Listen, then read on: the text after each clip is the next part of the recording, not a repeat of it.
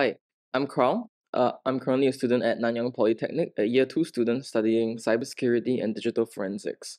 On the side, I've also founded my own company called Code Collab, where we create a collaborative co-editor and compiler for the web. I'm also a technical officer at MOE and a main trainer for Tinkertanker. So what am I showing you today? I will be showing you my Swift Student Challenge submission that managed to be accepted this year in 2022. So what is my whole app about here? So as you can tell from the very first page that this app is on, uh, mental health is a serious issue in this day and age. So my main focus on this app is about mental health.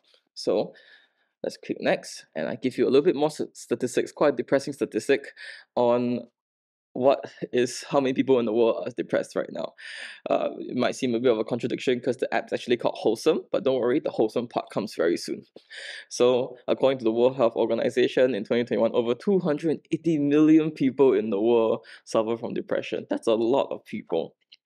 And especially now that in the middle of a pandemic and outbreak of war, it can cause many of us to feel very stressed and very hopeless. But despite how hopeless the situation can be, we can still help to lift each other's uh, lift each other up, even in the most simplest ways. And one of the ways is uh, what I'll be exploring in this app. So when I press next, right, I am being I, I am brought to this canvas screen here. So on this canvas here, if I had an Apple Pencil, which I don't have an Apple Pencil right now, uh, I can draw out compliments such as I love you. Now, normally what will happen is that we take the drawing that you have on this canvas here and we, we will run it through the vision framework to be able to retrieve the characters that it detects from the screen here. And then we run the character through Swift natural language uh, library to be able to detect the sentiment of the compliment.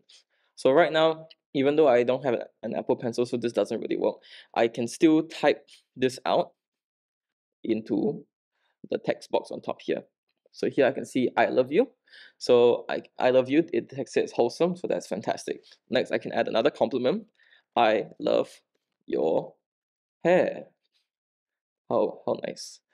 Add that too. And then finally, I can add my last compliment of I think you are amazing.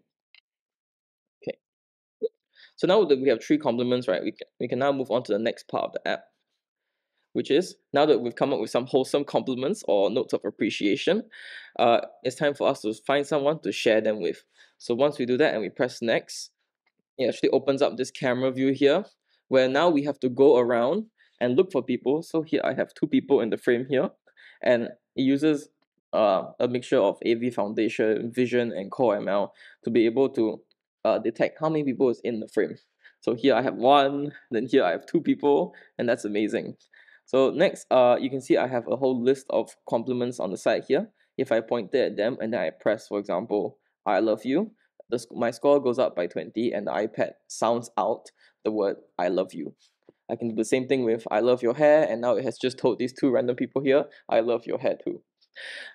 And yeah, the whole idea is that you write down little small little compliments or notes of encouragement and then you go around the world and point your ipad at people and share these notes of encouragement with different people. And with that that is my entire swift student challenge submission. Thank you